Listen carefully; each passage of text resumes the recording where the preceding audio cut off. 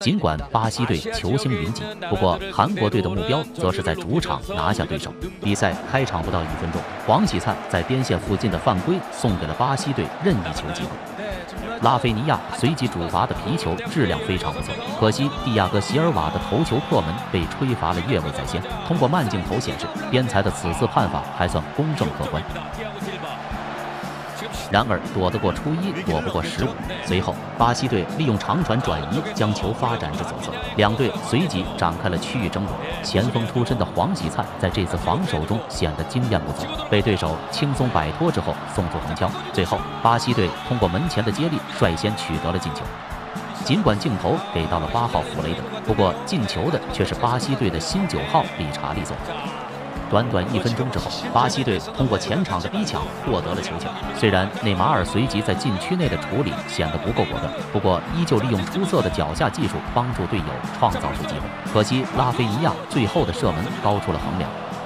韩国队主帅本托本场排出了四三三阵型，不过在比赛中更多的呈现了一个四五幺。球队这次通过后场的出球形成了机会，先是孙兴民的射门被对方封堵之后，禁区外跟进的远射又被门将扑住，球权依旧由韩国队所控制。最后，孙兴民面对盯防，勉强算是完成了第三脚射门。上半场比赛第三十分钟，韩国队在巴西队的半场至少完成了三十脚传递。由于时间的关系，就没有全程截取。皮球来到中路之后，黄喜灿随即通过提速向禁区内送出分球。最后，黄义柱倚助蒂亚戈席尔瓦完成了转身破门，帮助太极虎顽强地扳平了比分。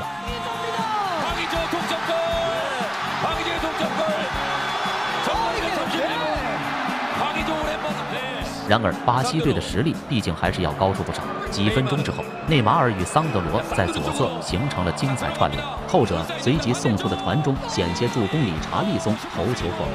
韩国队的队员随即在禁区内有较大的犯规嫌疑，不过主裁判并没有及时吹停比赛。两队随即在禁区附近展开了激烈的拼抢。当老将阿尔维斯的远射被门将金城奎挡出之后，主裁判立即与视频裁判组进行了交流。韩国队刚才在禁区内的。犯规终于板上钉钉。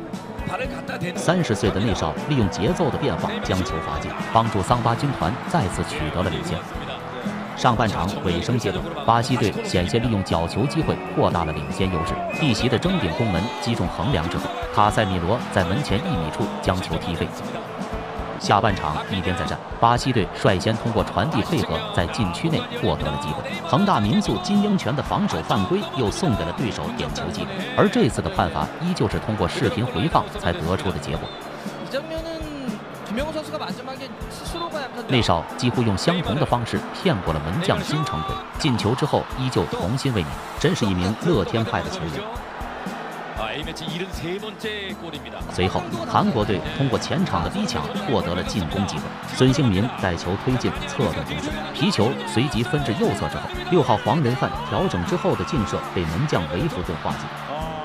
虽然对手实力强劲，再加上比分落后，不过韩国队的队员们依旧保持着争胜的心态，而且看台的球迷也是继续加油呐喊。客观来讲，他们的足球氛围确实比我们好很多。韩国队随后接连形成了两波攻势，不过都未能形成太大的威胁。比赛第七十六分钟，队长阿尔维斯接应角球传中，完成了凌空抽射。